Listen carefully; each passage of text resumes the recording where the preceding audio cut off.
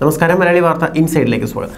പരക്കെ പോരായ്മകളുണ്ട് എങ്കിലും ലോകരാജ്യങ്ങൾക്കിടയിൽ ഏറ്റവും കൂടുതൽ ആയുധങ്ങൾ വിറ്റഴിക്കുന്ന രീതിയിലേക്ക് ചൈന ഈ അടുത്തിടെയാണ് കയറി വന്നത്. പക്ഷേ അതിനെയെല്ലാം തല്ലിക്കെടുത്തിക്കൊണ്ട് ഇന്ത്യയുടെ മാസ് നീക്കങ്ങൾ ഉണ്ടാവുകയാണ് ഇന്ത്യയുടെ ബ്രഹ്മോസ് മിസൈലിന് ലോകരാജ്യങ്ങൾക്കിടയിൽ പ്രീതി ഏറി വരികയാണ്. പ്രത്യേകിച്ച് ഗൾഫ് രാജ്യങ്ങളടക്കം ഇന്ത്യയുടെ ബ്രഹ്മോസ് മിസൈൽ സ്വന്തമാക്കാനുള്ള ആഗ്രഹം പ്രകടിപ്പിച്ചു കഴിഞ്ഞു. അതുപോലെ തന്നെ മറ്റ് പല ഇന്ത്യയുടെ ആയുധങ്ങൾ സ്വന്തമാക്കാനും ഈ രാജ്യങ്ങൾ സന്നദ്ധത പ്രകടിപ്പിക്കുന്നുണ്ട്. ഇതൊരു വലിയ നീക്കമാണ്. ഇന്ത്യയുടെ ഒരു വലിയ വിജയമായി ആയുധരംഗത്തെ ഇന്ത്യൻ ശക്തിയുടെ ഇന്ത്യൻ സൈനിക ശക്തിയുടെ വലിയ വിജയമായി ഇതിനെ കണക്കാക്കാൻ കഴിയും. ഈ ഒരു സാഹചര്യത്തിൽ ഇന്ത്യ ഗൾഫ് രാജ്യങ്ങളുമായി പ്രത്യേകിച്ച് സൗദി അറേബ്യയുമായി അടുക്കുന്നത് പാകിസ്ഥാനെ സംബന്ധിച്ച് വലിയ അടിയായി മാറിയിരിക്കുകയാണ്. Indian army chief general Manoj Mukund Naravane അടുത്ത ദിവസങ്ങളിൽ യു എ സന്ദർശനം നടത്തുമെന്നുള്ള റിപ്പോർട്ടുകൾ പുറത്തു വന്നു. നാല് ദിവസത്തെ സന്ദർശനമാണ് ആർമി ചീഫ് ഇരു രാജ്യങ്ങളിലും നടത്താൻ പദ്ധതിയിട്ടിരിക്കുന്നത്. ഇരു രാജ്യങ്ങളിലെയും പ്രതിരോധ മന്ത്രാലയ പ്രതിനിധികളുമായി അദ്ദേഹം ഇത് സംബന്ധിച്ച് കൂടിക്കാഴ്ചയും നടത്തും.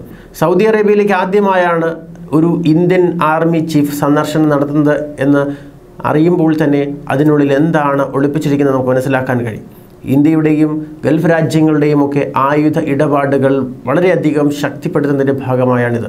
ഗൾഫ് മേഖലയിലെ നയതന്ത്ര വിദേശകാര്യ നയങ്ങളിലെ മാറ്റങ്ങൾ നടക്കവെയാണ് ഇന്ത്യൻ ആർമി ചീഫിന്റെ ഈ ഒരു സന്ദർശനം ഉണ്ടാകുന്നത് ഇസ്രയേലുമായി യു ഔദ്യോഗിക നയതന്ത്ര ബന്ധം സ്ഥാപിച്ചതും ഖത്തർ പ്രതിരോധത്തിൽ നിന്നും ഗൾഫ് രാജ്യങ്ങൾ പിന്മാറുന്നതിന്റെ സൂചനകൾ പുറത്തു വന്ന സാഹചര്യത്തിലുമുള്ള ഈ കൂടിക്കാഴ്ചയെ രാജ്യങ്ങൾക്ക് ഇന്ത്യയുമായുള്ള ദൃഢമായ ബന്ധത്തെയാണ് ചൂണ്ടിക്കാട്ടുന്നത്.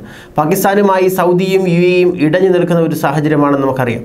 അനവസരത്തിലെ ഇടപെടലുകൾ പാകിസ്ഥാന് വലിയ രീതിയിൽ ഇവിടെ ദോഷം ചെയ്തിട്ടുണ്ട്. ഏതായാലും ഈ സാഹചര്യത്തിൽ ഈ സന്ദർശനത്തെ എന്തുകൊണ്ടും വളരെ നിർണായകമായി തന്നെയാണ് രാഷ്ട്രീയ നിരീക്ഷകർ വീക്ഷിക്കുന്നത്.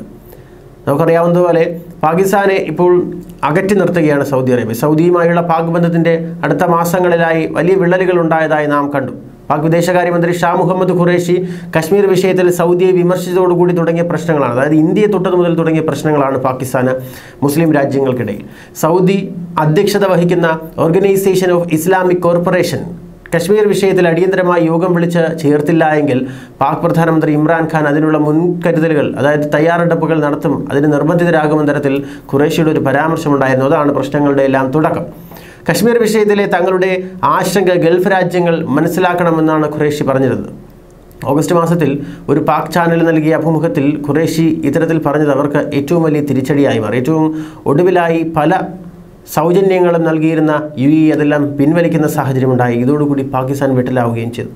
അതിനുശേഷമാണ് ചൈനയെ കൂടുതൽ ആശ്രയിക്കാൻ പാകിസ്ഥാൻ ശ്രമിച്ചുകൊണ്ടിരുന്നപ്പോൾ അതുപോലും അവർക്ക് കൈവിട്ടു പോകുമെന്നുള്ള സ്ഥിതിയാണ്. കാരണം ചൈനയെ മലർത്തിയടിച്ചുകൊണ്ട് നടത്തേണ്ട നീക്കങ്ങൾ ഇന്ത്യ ഇപ്പോഴും നടത്തി കഴിഞ്ഞു. അതിന്റെ ഭാഗമായാണ് ആയുധ ഇടപാടുകളുമായി ബന്ധപ്പെട്ട് ഗൾഫ് രാജ്യങ്ങളുമായി ഇന്ത്യ കൈകോർക്കുന്നത്. എന്തായാലും ഖുറേഷി തുടങ്ങി വെച്ച പ്രശ്നങ്ങളാണ് ഇത്തരത്തിൽ വലിയ ഭൂകമ്പങ്ങളായി പാകിസ്ഥാനിടയിലും അതുപോലെ തന്നെ ഗൾഫ് രാജ്യങ്ങൾക്കിടയിലും സംഭവിച്ചുകൊണ്ടിരിക്കുന്നത്. പരാമർശത്തിന് പിന്നാലെ പാകിസ്ഥാനുമായുള്ള ചില കരാറുകളിൽ നിന്ന് സൗദി പിന്മാറുകയും ചെയ്തത് വലിയ വാർത്തയായി.